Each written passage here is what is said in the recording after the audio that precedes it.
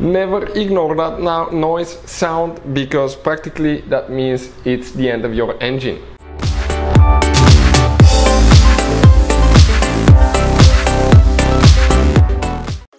Hey guys, welcome back to Auto Repair guys. Thank you guys for watching and subscribing to the channel. How cool is that, right? I guess it makes it convenient to work on your Mercedes because you spend a little bit of time under the hood. But if you have a Mercedes C-Class, it could be almost any generation Mercedes C-Class guys. And if you hear a noise rattle on cold start for only one or two seconds, then it's gone guys, okay? Uh, we'll explain what can easily cause that. Do not ignore that. Why? Because it may mean, guys, that next time okay, you will destroy your engine. You don't know if it's going to happen a month, a year from now or tomorrow, but don't risk it and we'll explain why. Make sure to stand till the end. Before we start, let me just tell you a little bit about us guys. Every single car we get here at the garage, we try to make at least 2 to 300 free repair videos. We're constantly getting new cars, we're constantly working on something. Why we do all that guys? Because our mission here at the shop is to save you as much money as we can.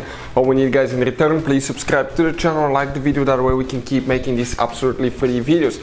And if you need to buy any parts tools for your car, Mercedes, any model guys, check out the link in the description of the video below. That's where we get all our tools supplies from and you can guys save a fortune.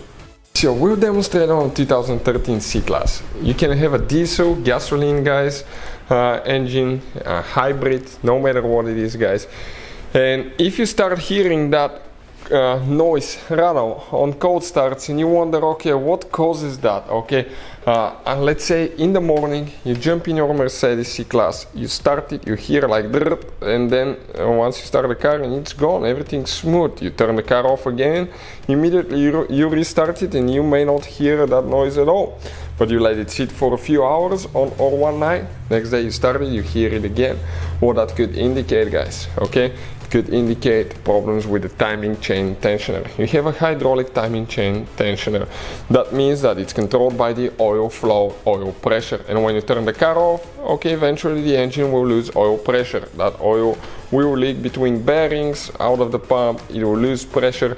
And uh, you have a special device on the tensioner, the one tooth that prevents the tensioner to contract okay when the engine loses oil pressure but that tooth can wear out. We've seen it multiple times on higher mileage engines and the tensioner will retract and as a result guys okay as a result that tensioner practically okay uh, will be loose when you start the car at first in the morning because you have no oil pressure and uh, the timing chain will start rattling guys. So that's the noise that you are hearing.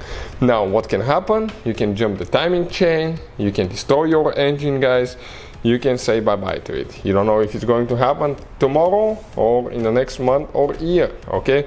You never know what is going to happen, but we'll recommend not to gamble. What can do that uh, to uh, what can do to actually prevent that in the future? Uh, change your oil quite often. Don't go super long service intervals. Make sure that the oil meets the Mercedes-Benz specifications. Oil viscosity needs to be uh, the one recommended for your car and you can use guys Ceratec. That thing lasts 30,000 miles. It creates less friction, reduces fuel consumption, extends service, service life, okay, low friction effect, reduces wear and emissions. It reduces friction by 75% and wear by 34%. How cool is that, right? This is one of the best additive that we use. We'll put the link in the description of the video below. If you want to see how to replace timing chain tensioner on a car, we have multiple videos on our channel. Hopefully the video will be helpful. Thank you for watching and see you guys next time.